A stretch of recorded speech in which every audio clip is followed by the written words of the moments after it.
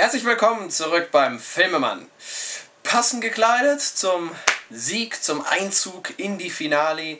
Ähm, und noch etwas anderes ist an diesem Wochenende passiert. Ich habe mir Snow White and the Huntsman angeschaut.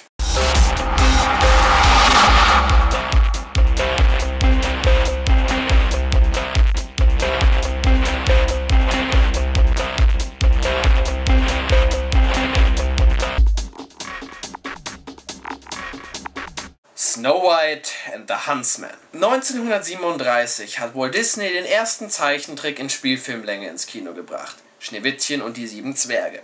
War ein mega Erfolg. Im Laufe der Zeit haben mehrere verschiedene Firmen versucht, diesen Erfolg zu duplizieren.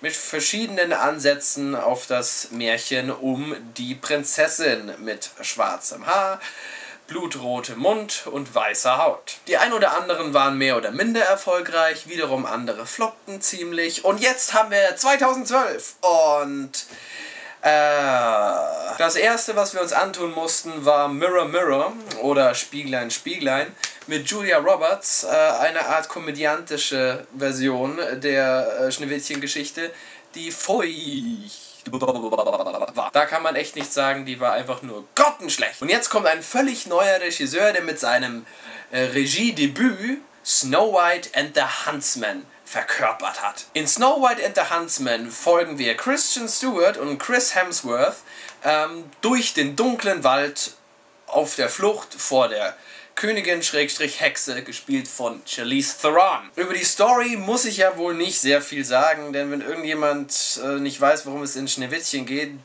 what? Aber was bei Snow White and the Huntsman anders ist, ist ähm, als bei den meisten äh, Adaptionen des Märchens, es geht hier wirklich um einen Krieg zwischen zwei Völkern, Burgen, whatever. Okay, fangen wir also an zu erklären. Der Film beginnt mit einem Prolog, was ich übrigens sehr cool finde, denn da wird die Hintergrundgeschichte von der Hexe Schrägstrich Königin erzählt. Da ist sie noch nicht Königin, da ist sie nur so eine dahergelaufene, wunderschöne Frau, in die sich der König verliebt, aber sie ist böse und äh, sticht den König in der Hochzeitsnacht ab und ist jetzt die alleinige Herrscherin über das Königreich. Dann hat sie einen Spiegel einen Spiegel und über den Spiegel muss ich ja nicht sehr viel sagen. Der wird aufgehängt. Äh, sie hat neben dem Machtanspruch noch ein anderes großes Problem. Äh, sie will unbedingt die schönste im ganzen Land sein. The fairest of them all.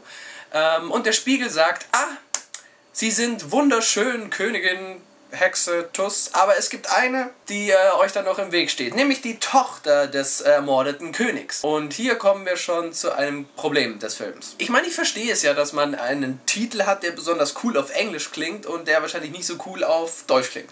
Schneewittchen und der Jäger. Das ist, das ist Bullshit. Aber weil sie den Film Snow White and the Huntsman genannt haben, auch auf Deutsch, müssen sie natürlich, um die Charakterebenen gleich zu behalten, die Namen gleich behalten.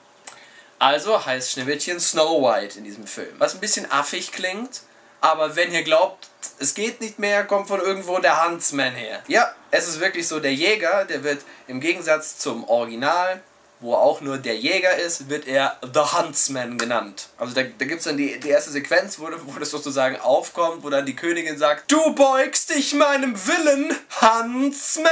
Und das klingt einfach wie der Name Hans. Das ist unfassbar blöd. Schneewittchen äh, erfährt, dass die Königin sie umbringen muss, um Unsterblichkeit zu erlangen. Und flieht. Sie flieht in den dunklen Wald.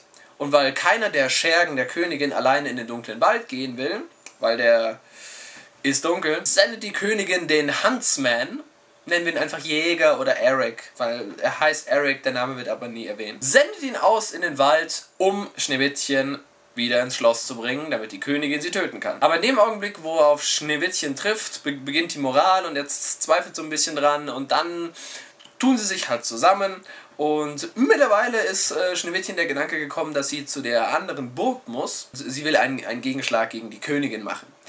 Da ist der Huntsman sehr angetan und hat gesagt, oh, da, da mach mal mit. Wo sind da die Zwerge, fragt ihr. Ja, die Zwerge, die kommen noch. Aber sie sind nicht so wie in dem Originalen. Nein, das sind jetzt so, so kleine Räuber, die so äh, durch den Wald reisende Menschen überfallen, ausrauben und nötigenfalls erschlagen wollen sie auch mit Schneewittchen und dem Jäger machen, bis dem einen Zwerg auffällt, oh, sie hat das Blut des Königs in ihr. wir dürfen sie nicht töten. Und dann in dem Augenblick tun sie sich halt noch mit den Zwergen zusammen. Nachdem der, der Apfelsketch passiert ist, äh, bringen sie Schneewittchen in die andere Burg, wo sie dann natürlich erweckt wird. Ist so Schneewittchen halt. Und dann beginnt der Feldzug gegen die Königin und es endet in einem furiosen Blambos, Shabams in dem Schloss von ihr. Jetzt zu den Sachen, die mir gefallen haben und die mir nicht gefallen haben. First of all, die Schauspieler. Kristen Stewart macht wieder ihr mimikloses Gedöns. Sie redet wenig in dem Film, was ich eigentlich ganz gut finde. Ähm, aber wenn sie mal redet, dann immer so, als ist sie ein totales Wrack. Ich bewege meinen Mund kaum.